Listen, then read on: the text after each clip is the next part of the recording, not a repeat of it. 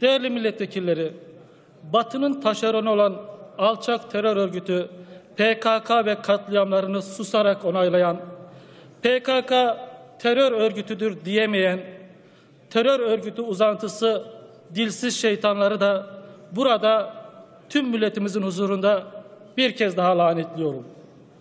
Değerli milletvekilleri, devleti yönetmek ciddiyet, sorumluluk ve yeri geldiğinde sorumluluğun gereğini yerine getirmektir. Bir devlet büyüğümüz Amerika'da üç Müslüman genç öldürdüğünde Obama'ya biz siyasiler ülkemizde işlenen cinayetlerden sorumluyuz. Halk size oyunu verirken bizim can güvenliğimizi, mal güvenliğimizi sağlayacaksın diye veriyor sözleriyle. Yine aynı büyüğümüz Fransa'da IŞİD saldırısı olduğunda siz bu insanları niye takip etmediniz? Sizin istihbarat teşkilatınız çalışmıyor mu diyerek efelenmesini biliyor.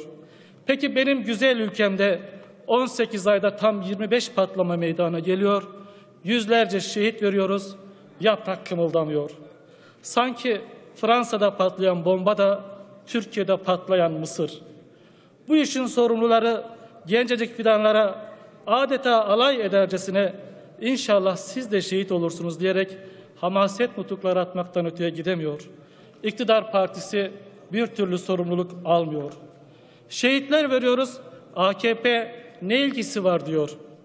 Soma'da 301 kişi can veriyor, AKP ne yapsın bu işin fıtratında var diyor. Çocuklar yurtlarda yanıyor, siyaset yapmayın diyorlar. Bölünmüş yol, köprü yapıyoruz, daha ne istiyorsunuz diyorlar. AKP sanki 14 yıldır ülkeyi yöneten siyasi parti değil de taşeron inşaat firması.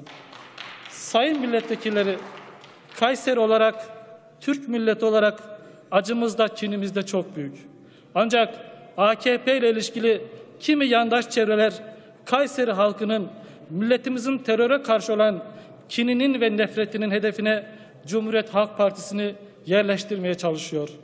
Ancak Dolmabahçe mutabakatı orta yerde dururken AKP sıralarında oturan milletvekili PKK terör örgütü değildir derken sanki 14 yıldır ülkeyi Cumhuriyet Halk Partisi yönetiyormuş gibi sanki terör örgütlerinin ayağına çadır mahkemeleri götüren terör örgütlerinin şehirlere bombalar yığılmasına seyirci kalan Cumhuriyet Halk Partisi'ymiş gibi sanki vatansever subaylar tasfiye edip FETÖ'nün kurlarını Cumhuriyet Halk Partisi generalliklere terfi ettirmiş gibi partimizin üzerinde kirli oyunlar oynanıyor. Bu ülkenin birleştirici gücü Cumhuriyet Halk Partisi'ni terör örgütleriyle yan yana anmak haksızlıktır, hadsizliktir, alçaklıktır. Bu çamur bize bulaşmaz. AKP'nin bu çabası ancak alçak terör örgütlerinin ekmeğine yağ sürer. Artık AKP yöneticilerinin gaflet uykusunu terk etmesi gerekiyor. AKP'nin partimizi terörle yan yana getirme çabaları yerine eski hatalarından da ders alarak birlik ruhunu tesis etmesi gerekiyor.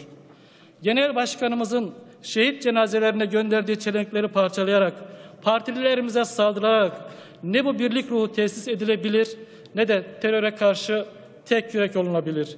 İçerisinden geçtiğimiz süreçte ihtiyacımız olan birlik ve beraberlik ruhudur.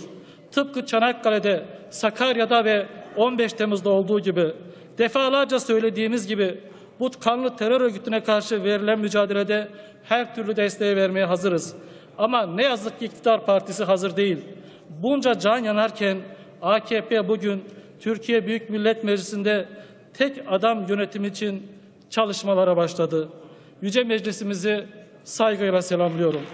Teşekkür, Teşekkür ederim ediyorum. Sayın Arık.